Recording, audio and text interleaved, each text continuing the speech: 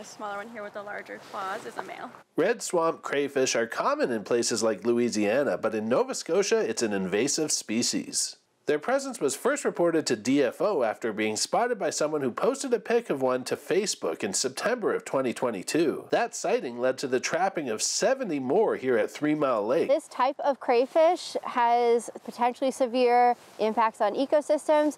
It can alter the ecosystem structure it preys on fish eggs, um, competes with native species for available resources, for space. They can get up to 12 centimeters in length. The exact impact the crayfish will have on other species is still being studied, but they do have hard shells. They need calcium to build that, so other species like a freshwater mussel may suffer because of it.